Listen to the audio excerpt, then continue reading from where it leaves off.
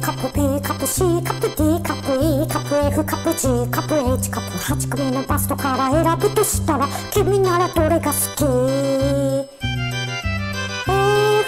F, F カップ好きは自分に素直思ったことを隠せないでも理想と現実だいぶ違うから夢から覚めなさいじゃあいい E カップ好きは少しより子さん F カップ好きより少しはお利口それでもまだまだ夢見がちだから大人になりなさい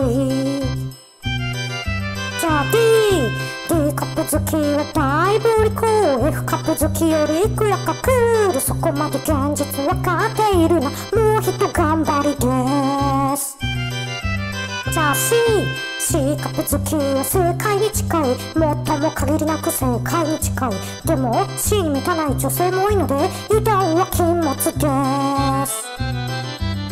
おっぱいチョイスのセンスでその後の人生は大きく左右されます。まるで左右のおっぱいのように。じゃあ B B カップ好きは中途半端。好みとしては中途半端。なくてもいいけどちょっとあった方がそんなの微妙好きえい A カップ好きは卑屈すぎます。自分に自信がない証拠です。おっぱいは決して怖くな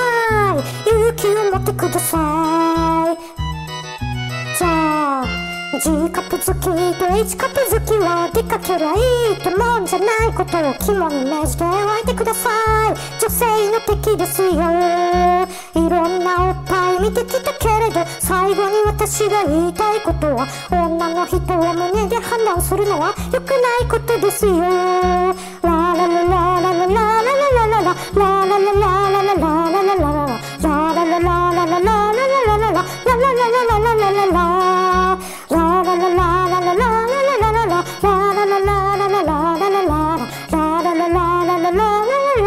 那那。